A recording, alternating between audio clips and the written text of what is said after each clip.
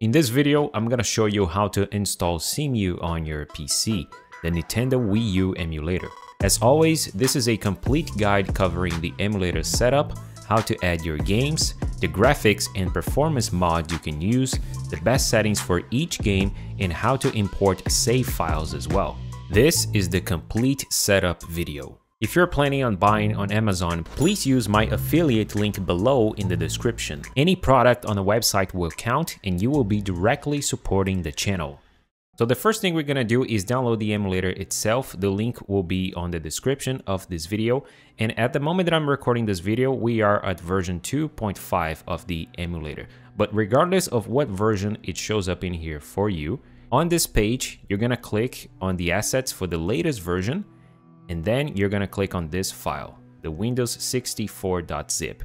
This tutorial is for Windows PC. So you're gonna go ahead and click on this name to download the file to your PC. The emulator file is this one right here and it's on the zip format which means that you have to extract this and you can do this with WinRAR or 7-zip or the extracting tool if you are on Windows 11 but I'm gonna personally recommend you to use 7-zip. The link for this file will be on the description as well. And once you download this, all you have to do is double click on the 7-zip file. This window will pop up and in here, all you gotta do is click on this install button and in just a few moments, 7-zip will be installed on your PC. Now we can extract the emulator and it is recommended that you extract this file on places like the desktop of your PC or your downloads folder, for example. Just don't put this in places like the program files directory of your PC because you don't have the writing permissions there and you're gonna have errors. So now you're gonna click on this file with the right button of your mouse, select 7-zip or WinRAR depending on what you have, and then you're gonna click on extract here. Then you're gonna have the emulator files inside a folder like this one. So now you can just double click on this folder and you're gonna see the emulator files. Now in this folder, before doing anything else, we're gonna create the portable folder in here.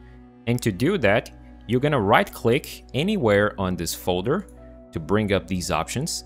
And in here, you're gonna put your mouse on top of new and you're gonna select folder. That way you're gonna have this new folder here. So now the name of this folder has to be portable. So you're gonna type this exactly like I do here and then press enter. That way, when we start the emulator, all of the files are gonna be in here, which is better for convenience if you want to move these files later on. So now let's start the emulator. You're just gonna double click on this application file right here, and then you're gonna see this window. The first option, we have to set the game path location for your games. And this can be anywhere on your PC, it doesn't have to be on the same folder on the emulator. But what I'm gonna recommend you to do here is on this folder, once again, you're gonna right click, select new, and then folder, and then you can just name this whatever you want, like games, like I'm doing it here, just so that we can keep everything organized here. Now go back to the emulator and on game path, you're gonna click on browse and it should open the emulator folder by default. So now, because I created the games folder, I'm gonna click in here once and then click on select folder here on the bottom. Now, still on this window, we have the option to download and configure graphic packs. This here is very much recommended because this emulator will grab all the graphics mods available for games, which also include things like 60 FPS and performance patches too, so you can customize the game to your liking. And all you have to do is just click on this button. It's gonna check the version of your emulator, and in just a few seconds, it's going to download all the graphics mods for the games that are currently available here. And I'm gonna get into this later on in the video, but it's very straightforward to configure this. You just have to click on the game, and in here, you're gonna select the mods you want. But like I said, I'm gonna show you more about this later. So now on this window, just click on next, and in here, we're gonna configure your controller. And if you don't have your controller plugged in, go ahead and do that right now before clicking on this button. And when you do so, you're now going to click on the configure input option. It's likely you're gonna see this warning window here, don't worry, that's normal. Click on OK. Now, to configure your controller on this window, under emulator controller, which says disable, you're gonna click on this one and select the type of Wii U controller you want to use. I'm gonna recommend you to use the Pro controller right ahead, so just click on this one. Now, on this option, controller, you're gonna click in here and this window will pop up. Now you're gonna select API and right on, you can see the keyboard, which means that if you want to play with your keyboard and you don't have a controller, this is the option you're gonna use. But if you're going to use a controller that is a PlayStation or Xbox controllers, and this emulator supports pretty much all of these controllers, even third-party ones, but in here, what you're gonna do is just select SDL controller because this can work for both Xbox and PlayStation controllers. But if you're having problems and your controller is not showing up later on under controller, what you're gonna do is if you have a Xbox controller, you're gonna select X input. But if you have a PlayStation controller, you can try with the direct input method. But hopefully you don't have to select anything here that is not SDL controller. And then on the bottom controller, this is where you're gonna select your controller. So there you go. And then you're just gonna click on this add button and your inputs are gonna show up in here. This emulator has a automatic mapping function, but if you want to change your inputs, you just have to click on the button you want to change and then press the button you want to use on your controller. Pretty straightforward. And you can also change these settings later on in the emulator too. It doesn't have to be on this window. And also, if you're going to use a second controller, you just have to do the same thing here, but for the controller port to connector. And once you're done, you can close this window. And back here, there is a few options you can change, but just make sure you have automatically check for updates enabled. Now click on close and the emulator will start. This would be a good time to subscribe to the channel and also leave a like on this video. Now to add your games on the emulator, we're gonna drop them on the games folder we created, right? One thing you need to know about this emulator is that there are two types of game formats that you can find out there and that is supported on this emulator, but there is a difference about them. I have here with me Bayonetta 2 and Mario Kart 8, and Bayonetta is on the WUA format and Mario Kart is on the WUX format. The WUA is the decrypted format, which means that the emulator can run this game just fine. But if you have your games on the WUX format, you're gonna need the keys file for this emulator. And just like the games itself, this keys file is copyright protected, so I'm not gonna show you here on the video how to get them. You're gonna have to find it on your own. But when you have it with you, the place you're gonna drop this file is on the portable folder like this. It is this file here on the text document format. Now with the files in place, if you had your emulator open, you can just restart, close this, and then run the emulator again, and you should see your games in here. There is a way to convert your games on the WUX format to the WUA, and the benefit from doing this is that you get a much smaller file size. I'm gonna show you how to do that later on in the video. But to make this conversion, you're gonna need the keys files for your WUX games. Now let's head over to the general settings of this emulator and to get there you're gonna click on this options and then click on general settings. If you want to do the controller configuration again this is the option here input settings. But now let's stick to the general settings by clicking in here.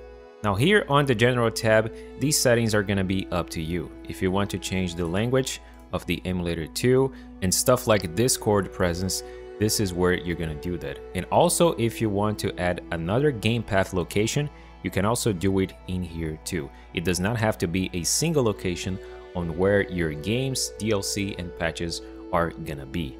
Now head over to the graphics tab and in here for graphics API, make sure that you have Vulkan selected here because this is the one that's gonna give you the best performance.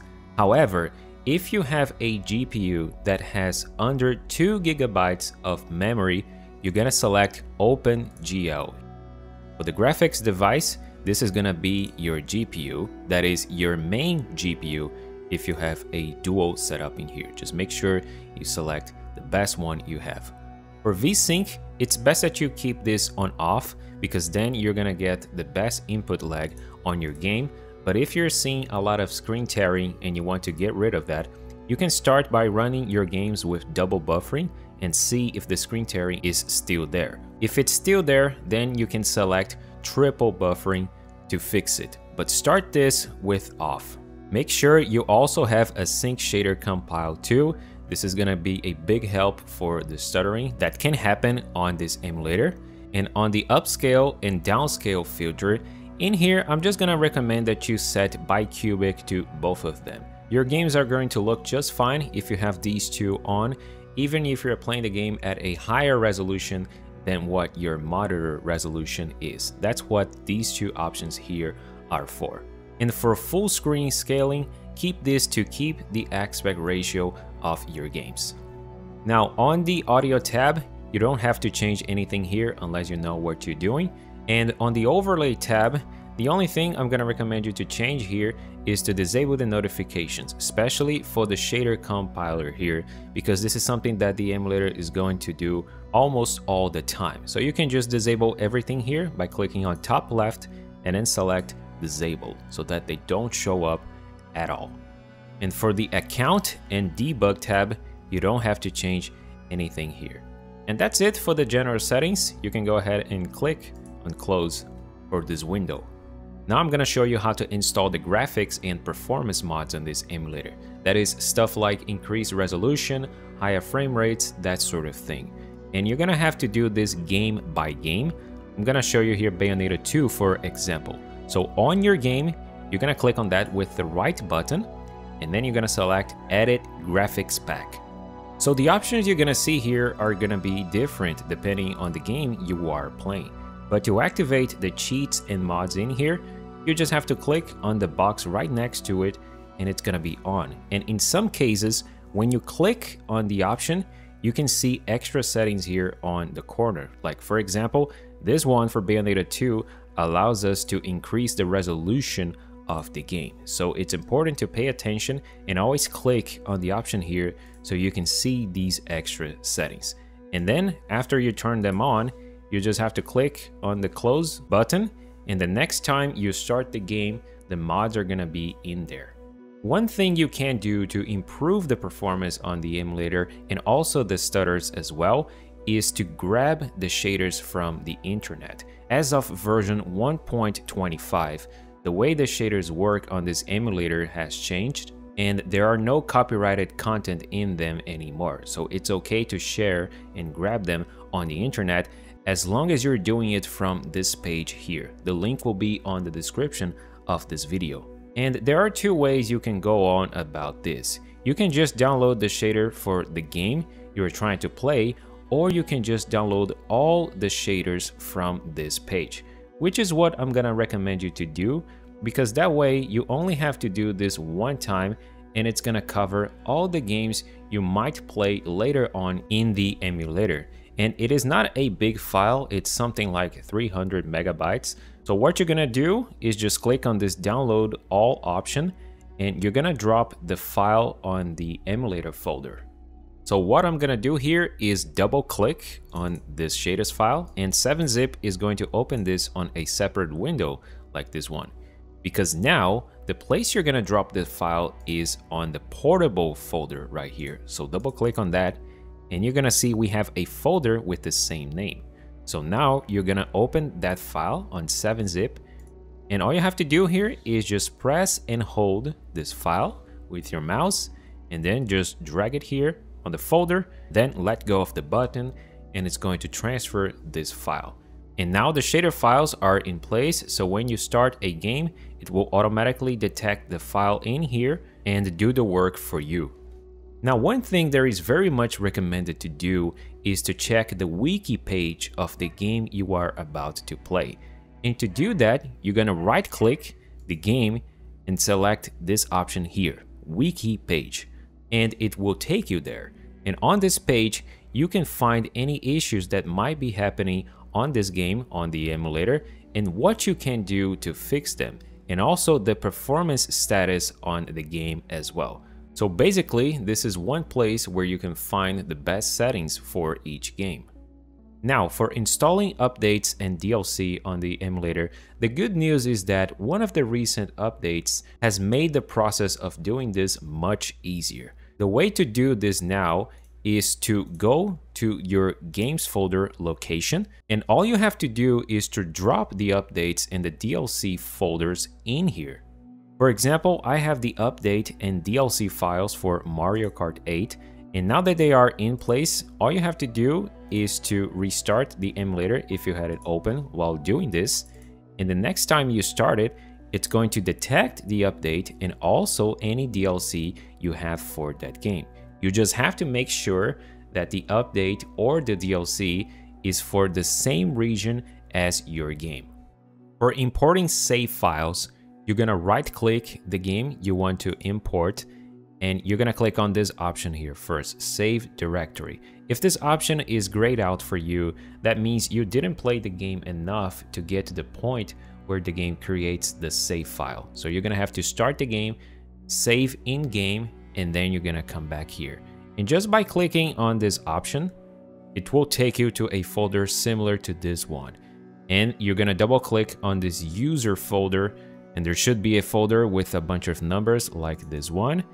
And this is the location where the save files of your game are going to be. Then it's just a matter of grabbing a save file from the internet and replace the files you have in here. I'm not aware of a place where you can get save files. I haven't really looked up for the Wii U, but it shouldn't be hard to find.